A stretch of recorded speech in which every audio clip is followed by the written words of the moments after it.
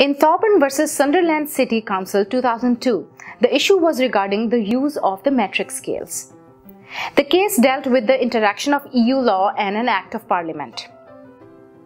The claim was brought by shopkeepers and market traders who found themselves being prosecuted for failure to comply with the EU legislation, requiring weights and measures of goods offered for the sale to be exclusively in metric scales instead of pounds. The Weights and Measures Act 1985 Section 1 provided that both the pound and the kilogram are equally legal units of measurement in the United Kingdom. The claimants argued that the Weights and Measures Act of 1985 has operated as an implied repeal of Section 2, subsection 2 of the European Communities Act 1972 in respect of weights and measures regulation.